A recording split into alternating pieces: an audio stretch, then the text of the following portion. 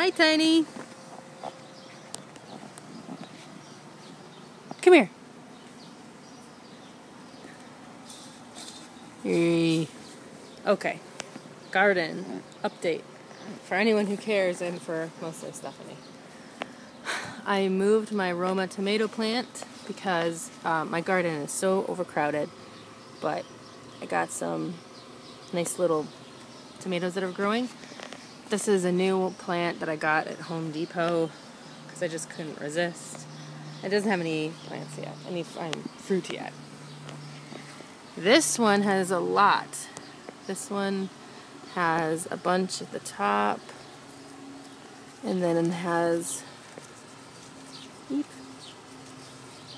some big ones down here. Regrowing some lettuce. Um, this lettuce is pretty much gone. We eat, there's some to eat off the top, but that's about it.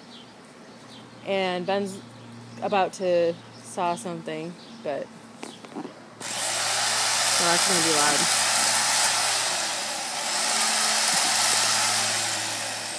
Just one more second, Ben. I'm gonna be all done. I gotta do this. I'm gonna be all done. Okay, so I have some more lettuce growing, and I'm like uh, not planting it all at once this time I learned from my mistakes. Right here are some beets. There's Harry. Hi, Harry. Say hi. Not talking today. Um, and then I have some lettuce over here that's a little bit more grown. Oh my god. The summer squash has taken over like a plague. I had no idea. But I'm getting lots of fruit. You can see lots of little zucchinis. Um, hopefully you can see them popping up. Um, so that's exciting. Also some yellow ones back there. My pepper plant is still pretty small. It has like two flowers on it. My beans are doing good. And finally, they're getting some flowers on it, which is good.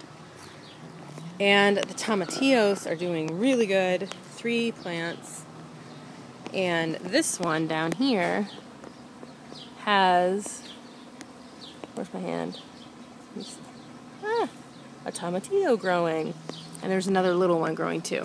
And the cherry tomatoes are growing a lot as well, but they're all just staying green. None of them are like turning red. So I have a bunch of those kinds of. What, Ben? He's right over there. I just saw him. Um, I don't know if you can see them all, but there are a lot of little cherry tomatoes. If not, I just saw him. He was just over here. Uh, let's see.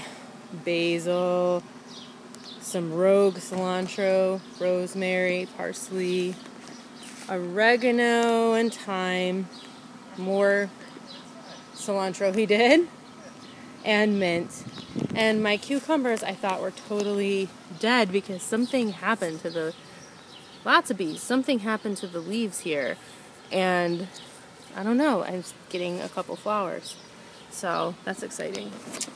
Um, so there you go, the way overcrowded garden that Brooke made.